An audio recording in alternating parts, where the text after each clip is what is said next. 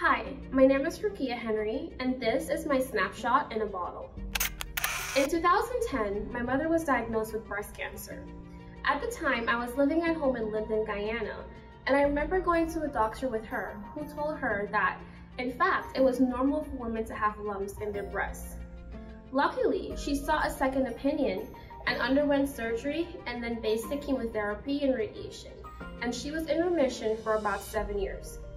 But during my senior year at Howard University, the cancer unfortunately returned, and this time a stage 4 metastatic breast cancer. I was in the process of applying to graduate school, and in that moment, everything aligned. I diverted from my interest in neurovirology research into cancer research. After getting all the information that I could about her diagnosis, I met with a famous oncologist and asked what our options were. He said that unfortunately at that stage, there wasn't much that could be done, and this was partly in fact a lack of research in creating targeted therapies.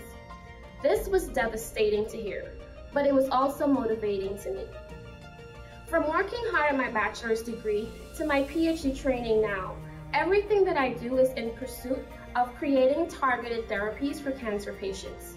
My advisor runs a molecular tumor board where we work with computational biologists to sequence the samples from each patient and tailor each treatment for that patient because cancer isn't just one disease.